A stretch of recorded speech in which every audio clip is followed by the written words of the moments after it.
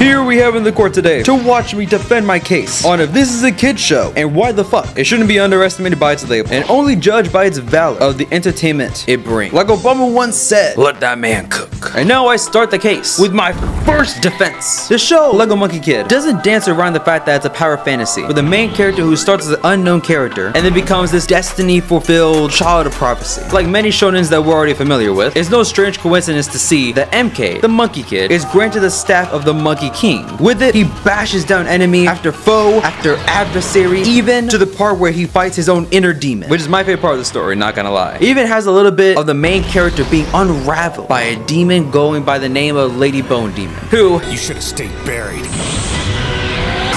But I'm gonna hit myself. You really don't know who the Lady Bone Demon is. The best way to describe it to somebody who hasn't seen the story is like if you went to a club and you had one good conversation with a girl, and then in fact, it turns out you're now entering her house. Till you walk in and you see a swastika and a shape of a cone mask right as you enter her apartment. On the outside, screams very pleasant. On the inside, screams run away. And currently the show is on season 5 and has been renewed for season 6, which confirms that the studio, Flying Bark Production, is not done yet. And speaking of Flying Bark Production, may I say the animation. Woo! This name may not light any new bells, but trust me, after you watch the show and you give it a fair shot, you're gonna remember their name. Cause Lego Monkie Kid doesn't miss! I'll tell you what, straight up feeling like I discovered Undertale. Here a light a quiet studio that only a handful of people really knew. Then here comes a new show out of the blue with an animation sequence that looks like this. Compared to the shows I grew up with, with like Transformers Prime, where the animation was different to say the least. Nowadays kids are growing up great.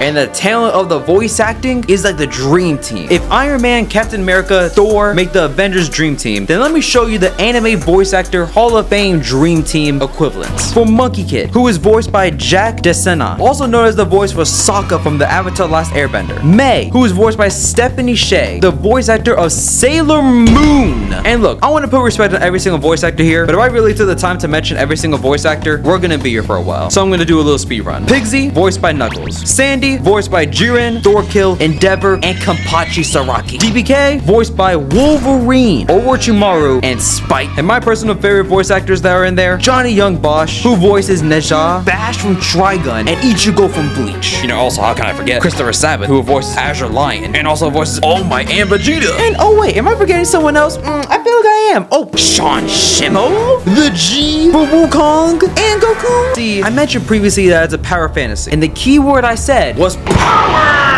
So the power system in the show is all about who needs the power in this specific part of the story. If MK needs to be stronger than the opponent, trust me, he will be stronger than his opponent. If MK needs to be weaker than his opponent, trust me, he's gonna be weaker than his opponent. It's very common thing in shonen media. So if you're trying to expect something that breaks the norm, you're not gonna find it here. But if you want to find something that you can turn off your brain, have a fun time, it's 11 minute episodes of characters who do have struggles that some people could relate to. But if you in this court deem it a crime that a kid show has to have this insane level of writing for adults to enjoy, then lock me up. Cause I grew up and still watch these type of shows. I'm talking Xiaolin Showdown. I'm talking Bakugan, Beyblade Metal Fusion. I'm talking Dragon Ball Z, and a myriad of other shows that made me who I am today. So now it's up to you. You are the judge, the jury, and the executioner. Whether you give the show a shot, please let me know in the comments below. And until next time, thank you very much for watching. You guys stay safe and peace.